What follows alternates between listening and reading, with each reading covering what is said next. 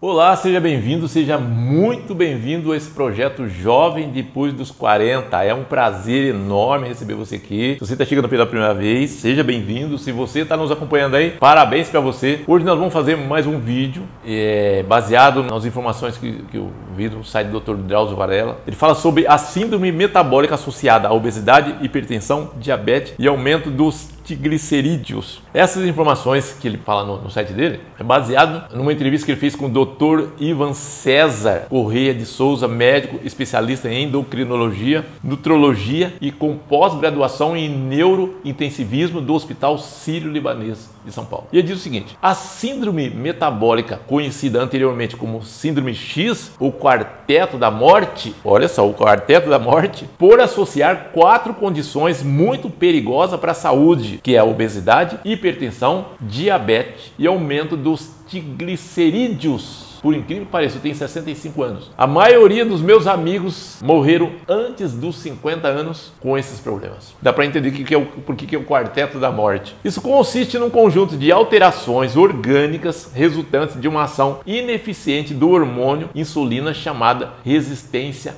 à insulina. Estima-se que nos Estados Unidos a síndrome metabólica atinge cerca de 24% da população adulta, ou seja, praticamente um quarto da população norte-americana adulta norte-americana. E acredita-se também que existem outros fatores genéticos de predisposições associadas a uma mudança no estilo de vida marcado pelo sedentarismo e pelo excesso de, de, ingestão calórica. Como em tudo tem uma razão de ser no corpo humano, as nossas células têm receptores para vários hormônios. A insulina se liga ao seu receptor localizado na membrana da célula como uma chave à fechadura, ou seja, uma chave para abrir a porta para a passagem de glicose do sangue para dentro das nossas células. Quando ocorre a resistência à insulina, o receptor passa a funcionar mal, dificultando a entrada da glicose do sangue na célula. Sendo assim, ela deixa o sangue mais lento e seu nível aumenta na corrente sanguínea. A frutose concentrada do xarope de milho no suco de fruta e no açúcar é capaz de gerar essa mesma deficiência. De outra maneira, as frutas in natura pode trazer uma frutose combinação com fibras, minerais e vitaminas que não causam a mesma alteração. Por quê? Porque tem uma absorção no intestino muito mais lenta, assim como é lento o seu metabolismo no fígado. Portanto, nesse caso a frutose não está em excesso e torna-se saudável. Você comendo a fruta não tem problema. A questão é quando essas frutas é processada, ela é enlatada. E aí com outras frutas é pior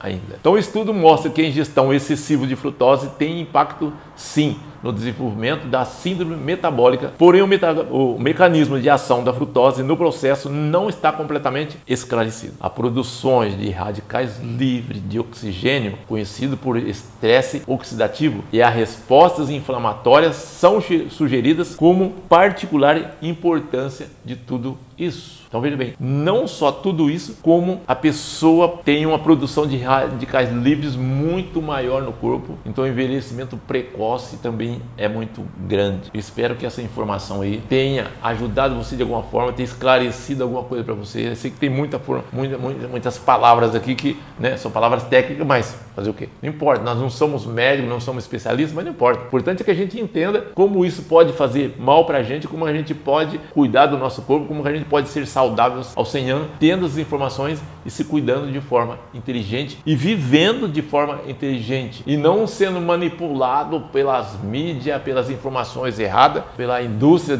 que tem a necessidade de vender cada vez mais a mercadoria dele, pouco se importando com a nossa saúde. A saúde é nossa, quem é que tem a obrigação de cuidar dela? Somos nós mesmos, é isso? Então tá aí a informação. Espero que você tenha gostado. Se você gostou, procura compartilhar com seus amigos, seus parentes aí, com seus vizinhos. Vamos elevar a consciência das pessoas aí, ok? Você não curtiu a nossa página? Curte a nossa página. Curta também o nosso vídeo. É muito importante as pessoas curtir o vídeo, porque a gente fica sabendo quem as pessoas estão gostando. Se a pessoa está gostando, se não está gostando, porque de repente eu estou fazendo esses vídeos e ninguém está gostando e eu estou aqui, né? Querendo ajudar pessoas que não querem ser ajudadas. Então, gostou? Vai lá, curta o vídeo. Diz, olha, eu gostei, continue. Que é bom, você aí você vai me animar, vai me incentivar e eu continuar fazendo esses vídeos aqui para ajudar você, ok? Obrigado pela sua atenção, um grande abraço, até amanhã no próximo vídeo que vai ser uma surpresa para você. Tchau.